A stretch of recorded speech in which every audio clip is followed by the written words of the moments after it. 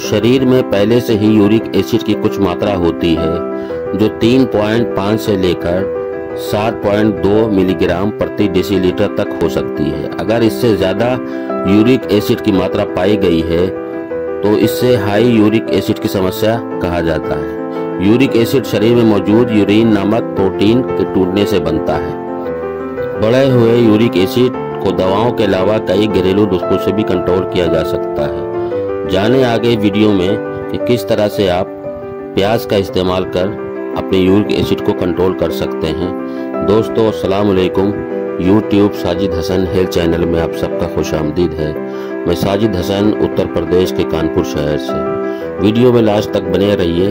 अच्छा लगने पर इसे लाइक और शेयर ज़रूर करिए। हेल्दी लाइफ स्टाइल के लिए YouTube Sajid Hasan health channel को आज ही सब्सक्राइब करिए।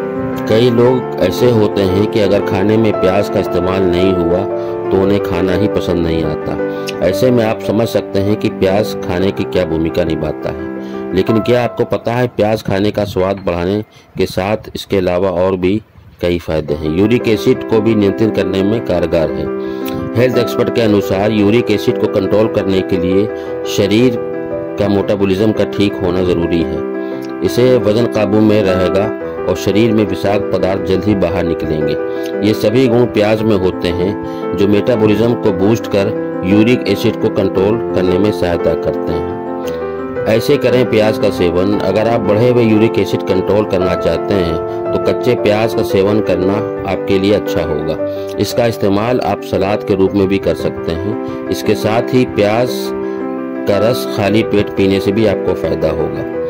जाने आगे वीडियो में कि यूरिक एसिड में कैसे असरदार है प्याज। प्याज में folate, magnesium, phosphorus, vitamin A, C और ई प्रचुर मात्रा में होता है। इसके साथ ही एंटीऑक्सीडेंट्स और एंटी इम्प्लीमेंट्री गुण होते हैं। ये सभी यूरिक एसिड को नियंत्रित करने में कारगर है। प्याज एक यूरिन फ़ूड है। प्याज में मौजूद तत्व शरीर में नॉर्मल प्रोटीन की मात्रा को बढ़ाते हैं। इससे शरीर में यूरिन कम मात्रा में बनता है। इसके अलावा प्याज दिल के स्वास्थ्य में सुधार करने में मदद करता है। प्याज में मौजूद फ्लेवोनोइड्स आपके शरीर में खराब कोलेस्ट्रॉल को कम करने में मदद करते हैं।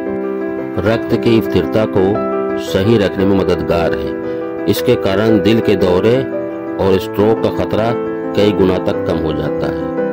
प्याज का सेवन आपको स्वस्थ हड्डियाँ भी दे सकता है। अमेरिकी कृषि विभाग यूएसडीए के अनुसार सिर्फ़ एक प्याज में 25.3 मिलीग्राम कैल्शियम होता है। कैल्शियम मज़बूत हड्डियों के लिए ज़रूरी है, इसलिए आपके सलाद में प्याज ऐड करने से आप बेहतर हड्डी स्वस्थ निर्माण कर सकते हैं। यह प्रतिरक्षा को भी सुधार करता है। हर कोई आजकल इम्यूनिटी की बात करता है।